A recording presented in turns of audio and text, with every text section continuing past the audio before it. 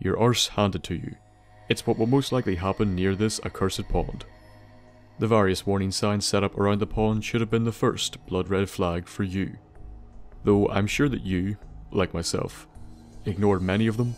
The pond's located right here, in the centre of the commons, and as we'll soon see, many know of its dangers. Perhaps you were not observant enough of the signs and wandered in. Or you just thought, fuck it, at least it's not a goose. How wrong we all were. There are many stories here, but let's get the big bastard over and done with first of all. Walking down towards the pond, the area is quite idyllic. Lovely trees, some sort of alive grass, and a pond that doesn't look a complete state, unlike many that we've come across in our journey. Well, time to have a quick gander around to make sure there are no enemy. Hmm, hmm, hmm, hmm. Uh, nope, a bit less of that, don't like that thing, one bit, no sir. So, a big super mutant called Swan is solid snaking it up in the water, at one with his surroundings, ready to murder the Christ out of us. He is, of course, a super mutant behemoth, which we will get to soon. To actually kill him, well, that is another story. I personally recommend a mixture of prayer, luck, faith, divine intervention, and drugs. It's a combination that will, in all likelihood, get you out of just about any and all situations in life. But if you really want to win, mind the shit out of the path he will take towards you. Try to cripple him, watch for his shitty boulders, and aim for his head. You'll be just dandy. Y- you know, probably. Providing you don't die.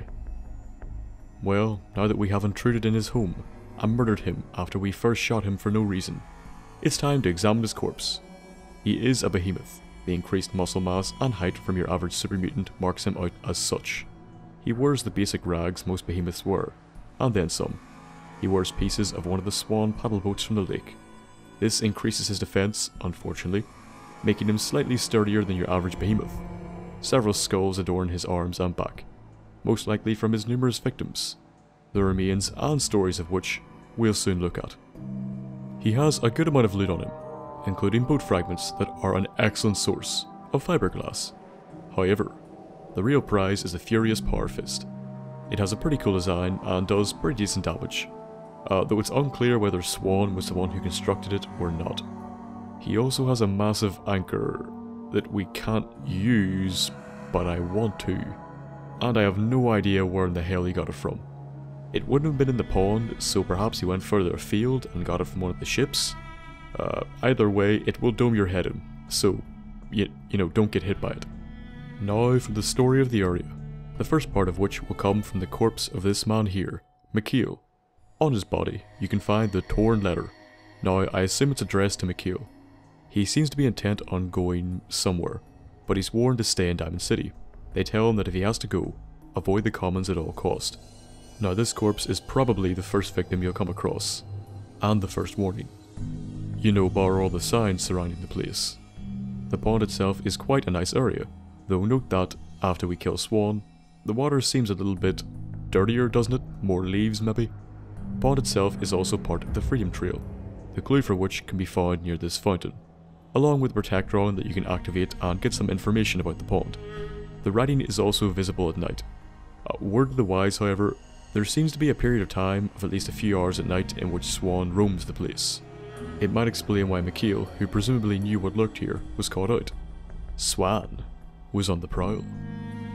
The next place of interest is in relation to the raiders that surround the commons. A dead one can be found here, with the remains of several more scattered around the place. It seems they tried to make a last stand of sorts, possibly at night, if the lantern is anything to go on, using this gazebo as cover. A note from them can be found on one of the barrels of waste. It seems to be the advice a raider gave the group that came here, though as we can see, it, it didn't really work out. The various raider camps around the commons clearly know about Swan. They're actually most likely the ones who put up the signs. Some can even be heard yelling, I'll let Swan deal with you, if you try and flee through the commons while fighting them. This dead group may have been the remains of an attempt by the raiders to get rid of Swan, so that they could move through the commons more safely. Our next piece of the story comes near this glorious statue near the pond and shack, in the form of a holotape clasped in the hands of half a skeleton. The tape is entitled Fugitive's Holotape.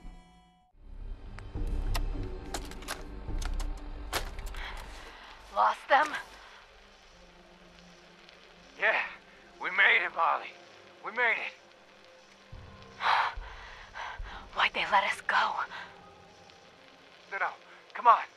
Let's keep moving. Wait, the Common. You've heard about the Common. Oh, God. Mar, look out!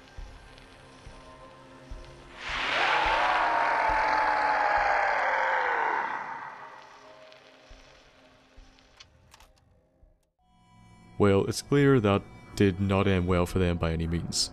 So two raider fugitives, Marl and some guy, escaped into the commons. They felt like they were let go, and it's most likely because the pursuing raiders realised where they were going before these two did. They paid for that realisation dearly and were killed by Swan, or at least one of them was. Maybe they would have realised where they were sooner if they hadn't wasted so much time recording a holotape for whatever reason.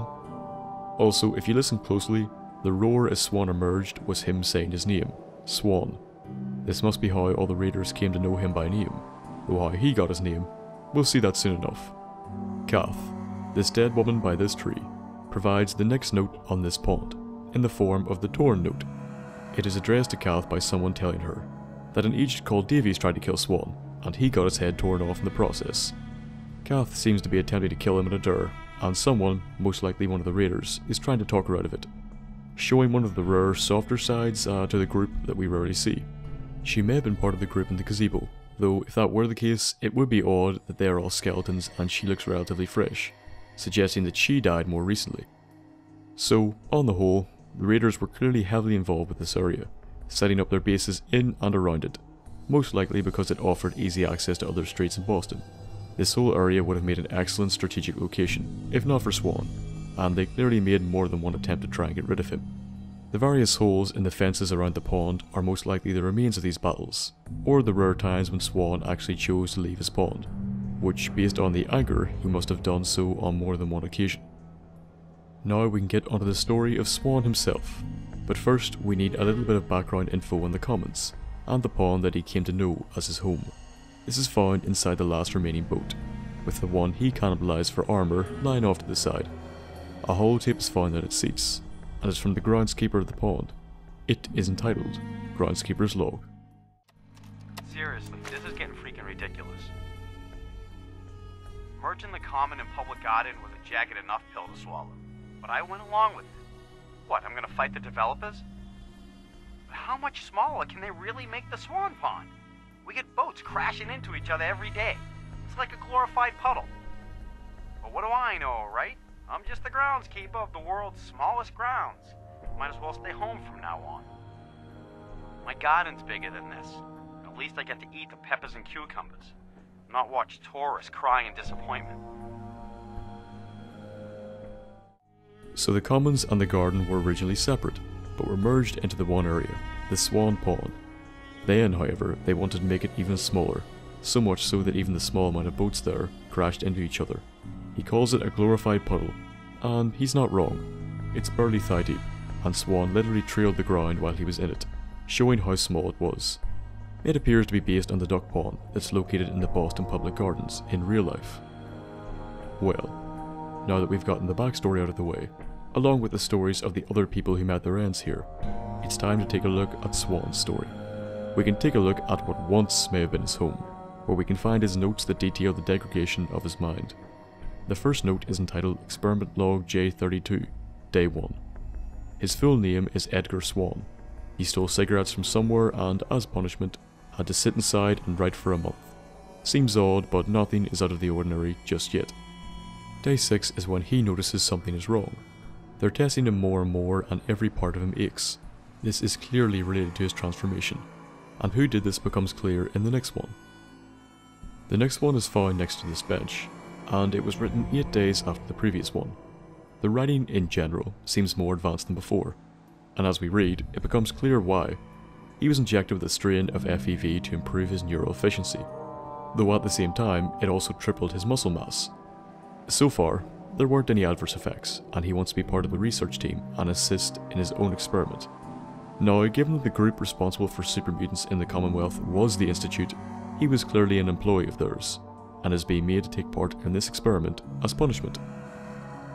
Day 21 is the last one, and the seizures have begun. He must have been let out at some point as they ordered him back to the labs. His viral strain is unstable, and after a peak, his mind began to deteriorate. He knows what will happen to him, and fears the Institute will dispose of him. One final note can be found in his bed, entitled Swan's Note. It simply says, You are Swan. It appears this note was written while he was actually here, as the experiment would not have taken place in a shack. He probably took them with him after he escaped. He took shelter here for a while. Most likely he was the one who drank the beers and slept in the mattress, but it did not last. This note seems to be just before his mind snapped completely, and he became nothing but a beast, with nothing but a name to scream. Swan's Pond, and Swan, a former Institute employee, he was punished pretty harshly to be honest, uh, for stealing cigarettes. They injected him with an unstable strain of FEV that was meant to increase cognitive abilities.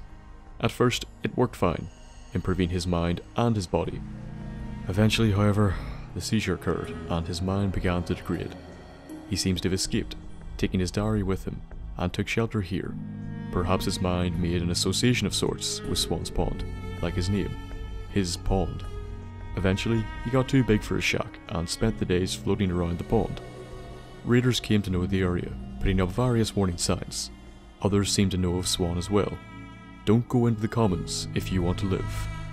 A pair of fugitives. Mikail, trying to make his way through the commons. Kath, taking up a dur. A group of raiders who made a last stand.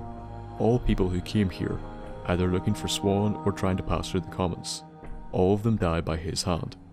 If you bring Codsworth here, he comments in the pond, suggesting the sole survivor came here with their family, and that they may have been here when the changes the groundkeeper discussed occurred. It must have been a nice place for a day out back then, and in some ways, it still was. It was a peaceful area, in a way, devoid of outside conflict. It kept the raiders in check and prevented them from obtaining a fortifiable foothold in the commons. The pond itself was pretty nice. However, on coming back later, it becomes filled with mud and leaves, dirty and sad, as if mourning the loss of its watcher and protector, Swan.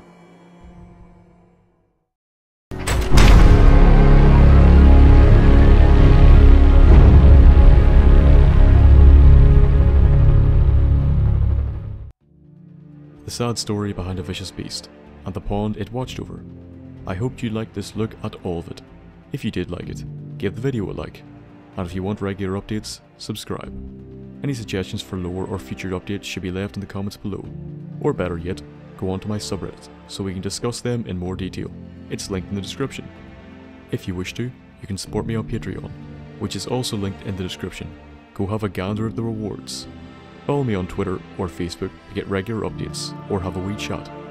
Any businesses you wish to discuss, email me at earthapple.business at gmail.com and I will get back to you as soon as possible.